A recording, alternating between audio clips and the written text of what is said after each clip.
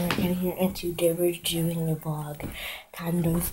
Um, so if you guys didn't know, yesterday, I think, I'm not sure, yesterday, something came in the mail!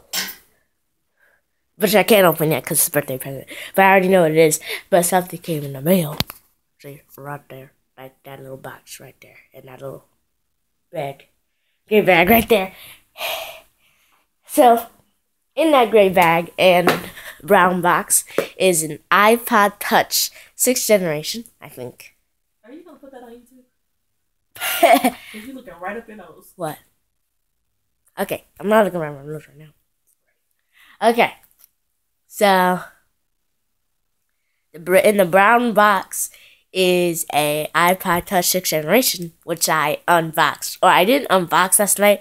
I looked at it, and then the gray, and then the gray package, and then the gray like bag or whatever is a power brick to go with the iPod, and it was supposed to come on the eighth and the thirteenth, right? But it came on the sixth, seventh. So like five days earlier or something. That was weird. I don't know why it came earlier. But yeah, I've got it. Yeah.